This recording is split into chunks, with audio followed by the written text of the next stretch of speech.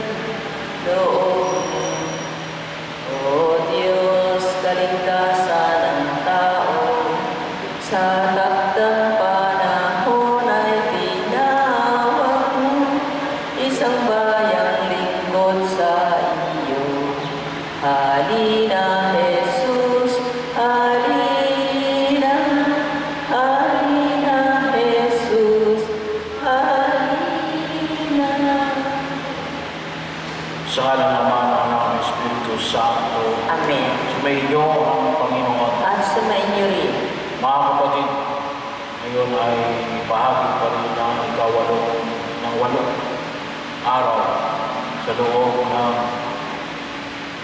Kapaskuhan.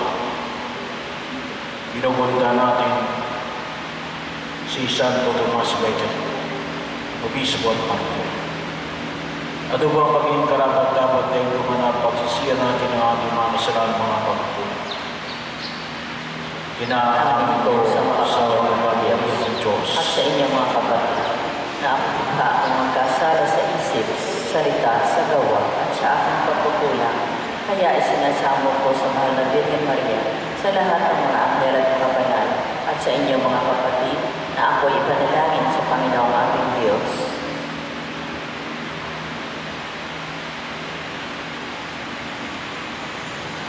Hawakan tayo ng mga pamilya ng Diyos. Patawarin tayo sa ating mga kasalanan. Pagbabayan tayo sa buhay ng panahon. Amen. Panginoon, kaawaan mo. Panginoon. Kristo, kaawaan mo kami. Kristo, kaawaan mo kami. Panginoon, kaawaan mo kami. Panginoon, kaawaan mo kami. Ama naming magkapamilyang ginawad mo sa martiro si Santo Tomas, ang dakilang pagkakataon ng maghahandog ng buhay para sa katarungan. Ipagalaw mo pangundangan sa kanyang pagdalangin na alang-alang kay Kristo ay aming talikdan. Ang buhay namin upang ito ay aming makamtan sa iyong piling.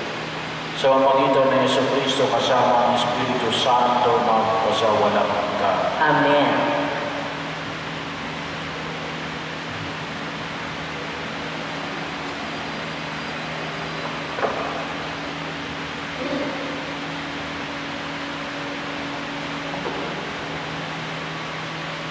Pagbasa mula sa unang sulat ni Apostol San Juan. Kapatid, nakatitiyak tayo nakikilala natin ang Diyos kung sinusunod natin ang kanyang mga utos. Ang nagsasabing nakikilala ko siya, ngunit sumusuway naman sa kanyang mga utos, ay sinungaling at wala sa kanya ang katotohanan. Ngunit ang tumutugot sa salita ng Diyos ay umiibig sa Kanya ng wagas. Ganito natin nalalaman tayo nasa Kanya. Ang nagsasabing na natili siya sa Diyos ay dapat mamuhay tulad ng pagka, pagkapabuhay ni Yeso Kristo. Mga minamahal, hindi isang bagong utos ang sinusulat ko sa inyo, kundi ang dating utos na nasa inyo, nasa simula pa. Ito ang salitang narinig na ninyo ngayon man, may tuturing ng isang bagong utos na simula ko na sa inyo. Bago sapagkat na napapawi ang kadiliman at lumiliwanag ng tunay na ilaw, ang katotohanan nito ay nasaksihan sa buhay ni Kristo at nakikita ko rin sa akin. Ang nagsasabi siya ay nasa liwanag, ngunit nagpupuot sa kanyang kapatid ay nasa kadiliman pa. Ang umiibig sa kanyang kapatid ay nanatili sa liwanag at walang pangangin na mabulit siya ng kasalanan. Ngunit ang napupuot sa kanyang kapatid ay nasa kadiliman pa. Lumalakad siya sa kadiliman at hindi nalalaman ang kanyang patutunguhan sapagkat binulag siya ng kadiliman. ang salita ng Diyos. Salamat sa Diyos.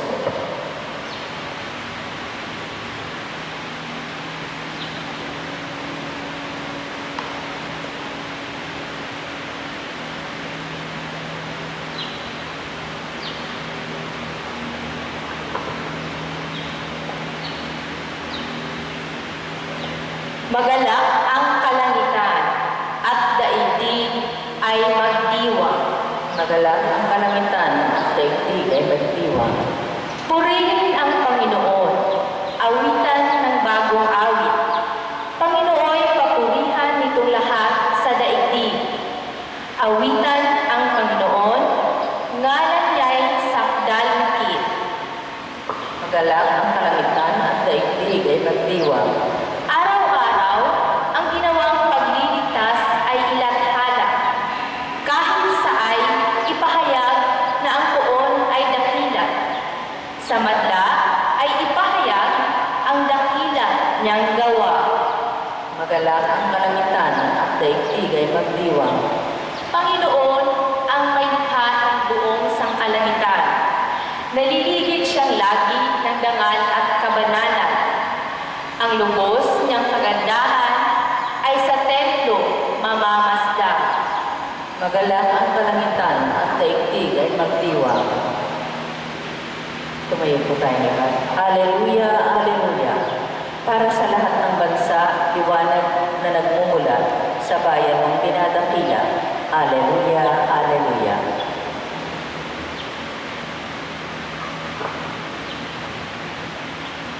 Sumainyo ang Panginoon. At sumainyo rin. Ang mabuting balita ng Panginoon ayon kay San Lucas. Papuri sa iyo, Panginoon.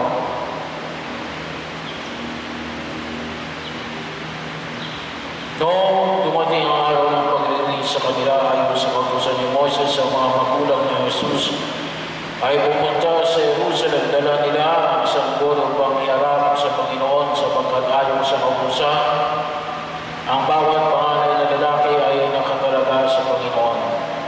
At nagandog sila ayon sa hinihingi ng kautusan ng Panginoon. Mag-asawang bato-bato o dalawang inakay na kalapati.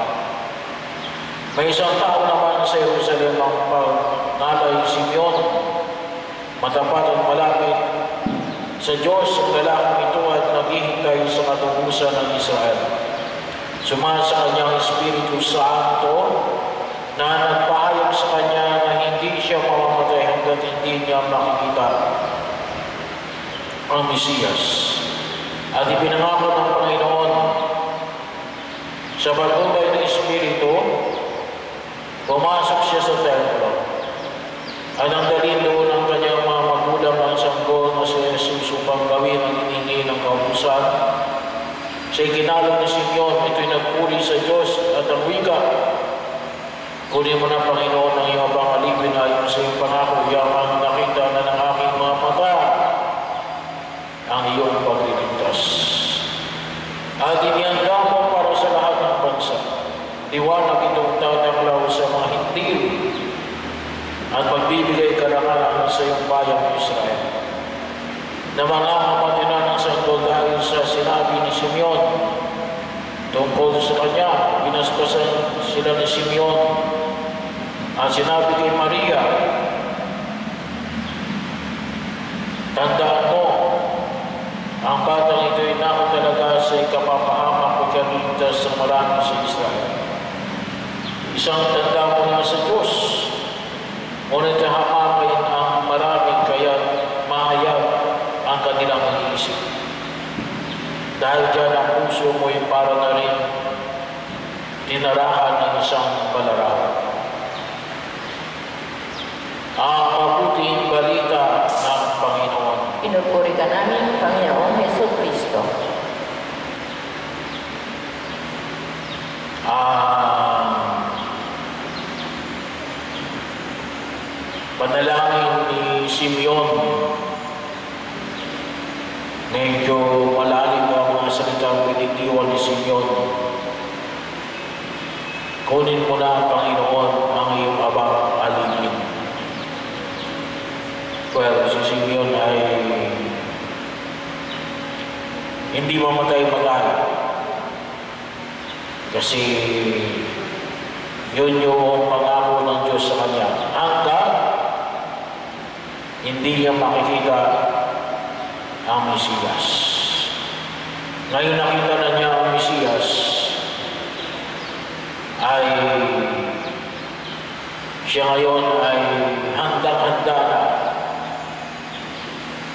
na mamatay. So ang katalunan ay tayo ba, nakita ba natin yung pagliligtas ng Diyos?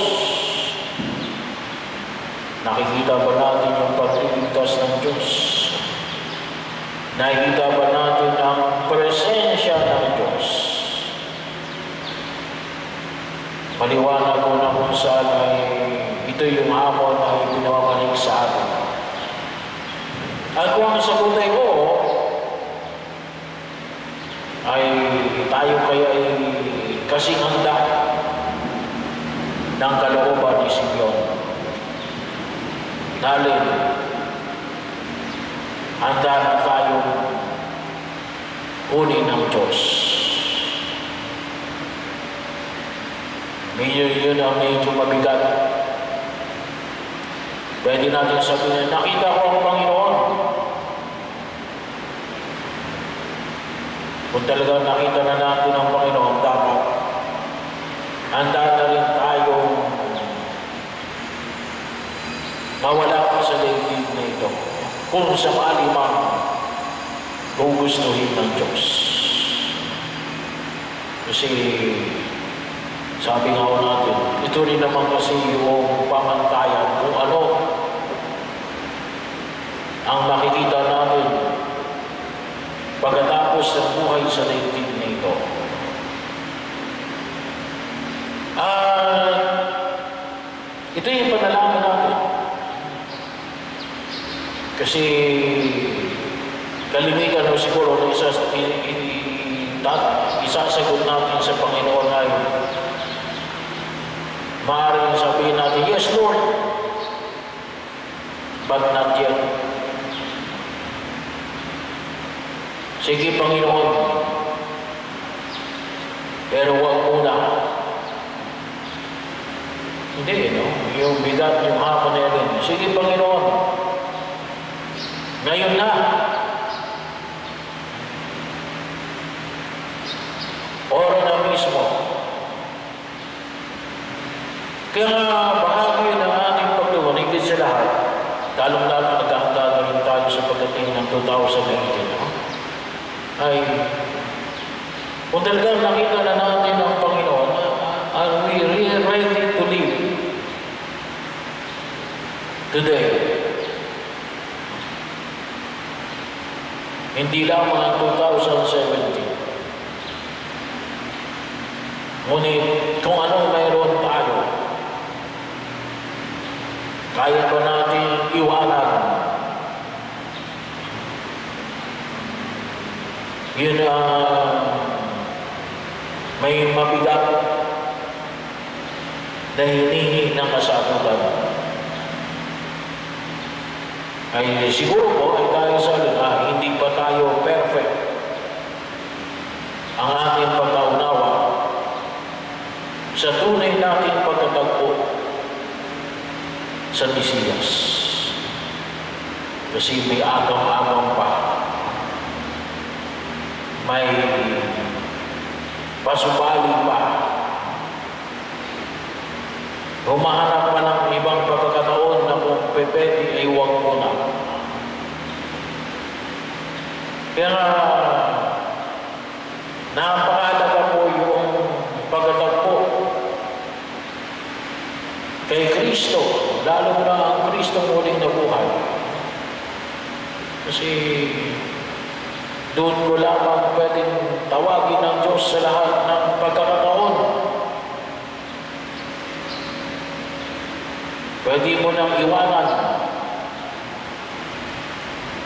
At pwede na natin masabi yung sinabi ni Simeon, kunin mo lang ako, Panginoon. Sabi nga, I am ready. I am ready. Nang isuko ang lahat para sa Panginoon. Ah, ito po ay ito po ay napakahalagang susi sa lahat ng hamon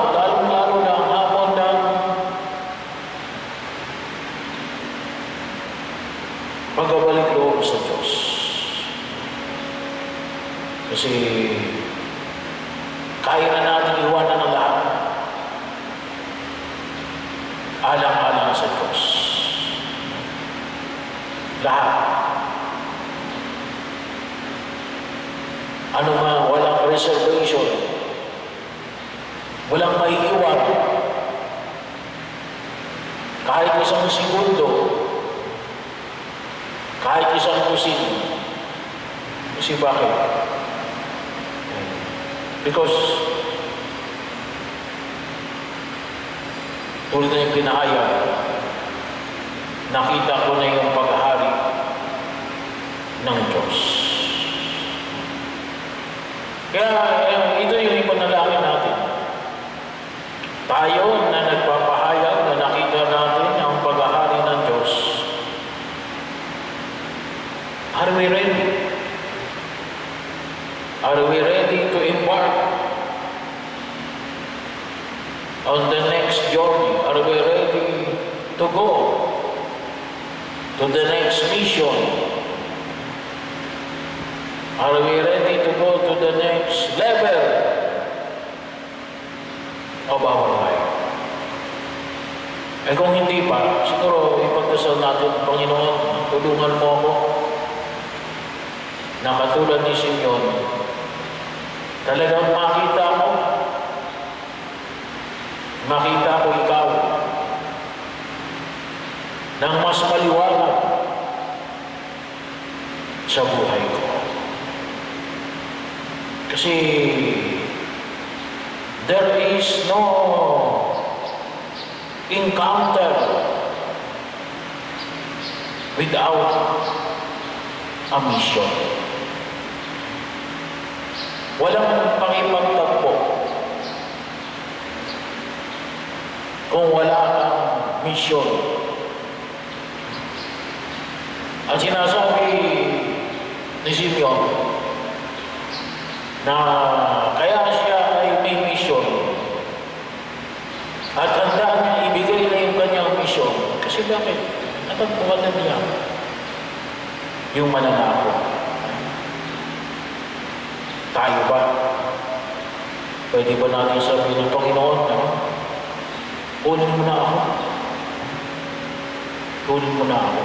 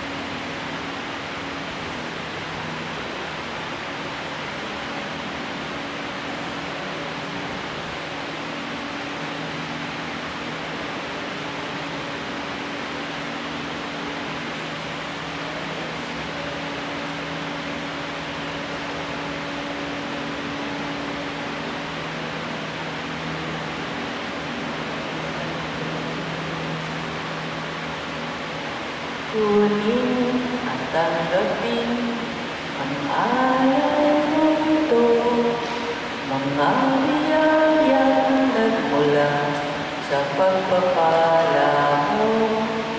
Tandaan ang bawat puso pagkat inibig mo.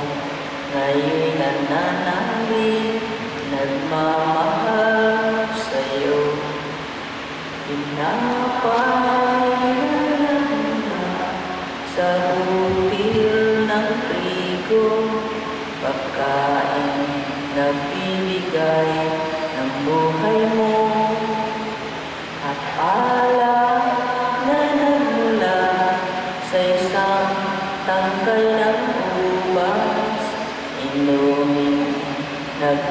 ibigay lakas Kunin at tanggapin ang alay na ito Mga biyayang nagmula sa pagpapala mo Tanda ng bawat puso pagkat inibig mo Ngayon'y nananalig nagmamahal sa'yo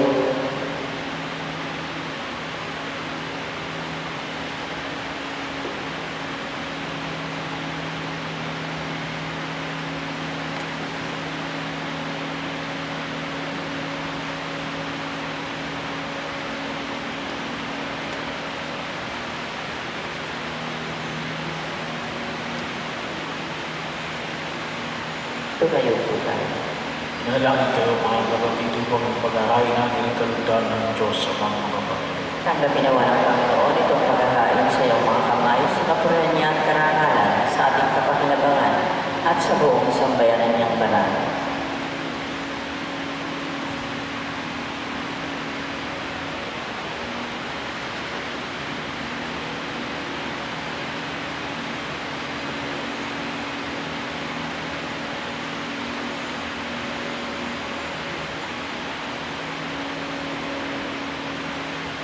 Ama namin lumika kung ngayon mga maalay na nasa tambana ngayon kami naghahanap para si San Tomas ay magunita sa ikapagpapatawan ng aming mga kasalanan at sa patutupad ng aming pagsamba sa iyong anak sa pamagitan ng Yesu Kristo kasama ng Espiritu Santo mga kasawalang hanggan. Amen.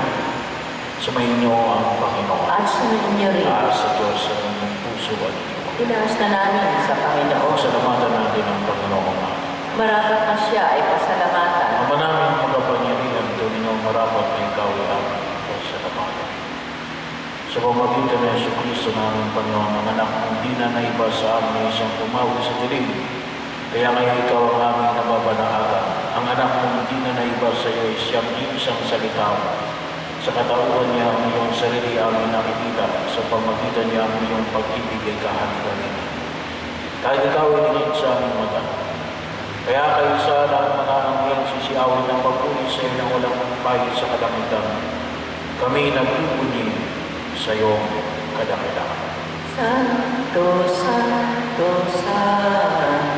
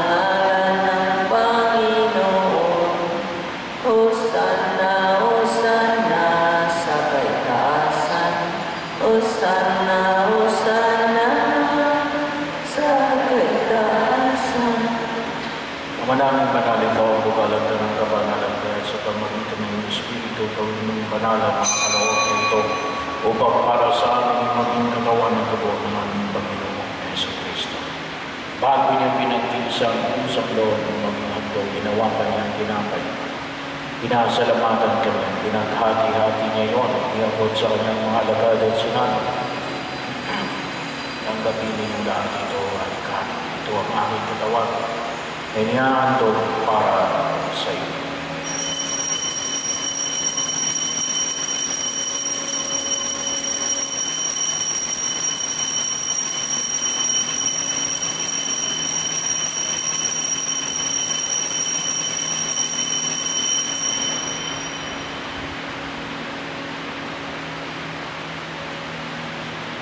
Kaya hindi naman matapos sa magunang ginawang kanyang kalis, muli kanyang pinasalamatan.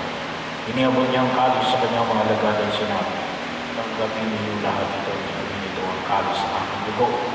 Ang bago at walang hanggang tipan ng aking dugo, na ibubuhos para sa inyo at para sa lahat sa kapagpamatawad ng mga kasalanan. Gawin ninyo ito sa pag-anak-anak sa akin.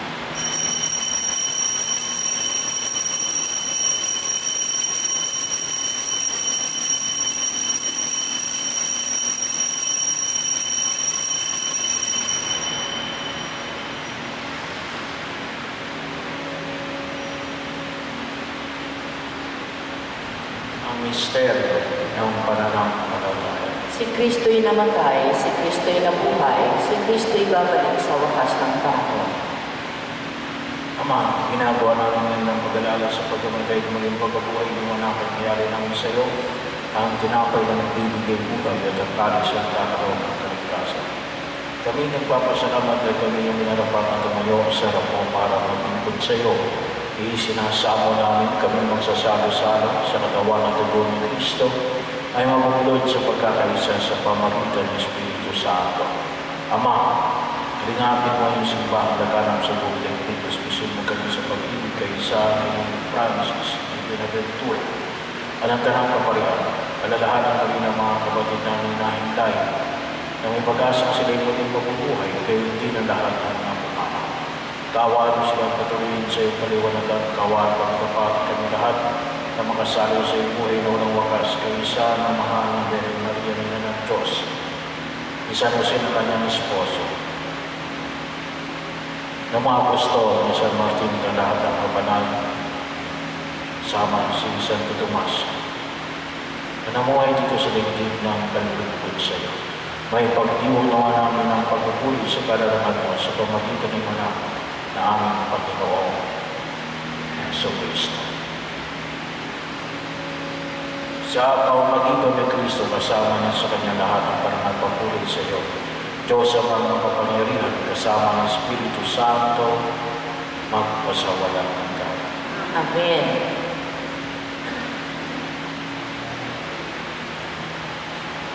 Upang katulad ni Simeon, magkaroon naman tayo ng kalooban na kaya na natin sabihin, kunin mo na ako. Ama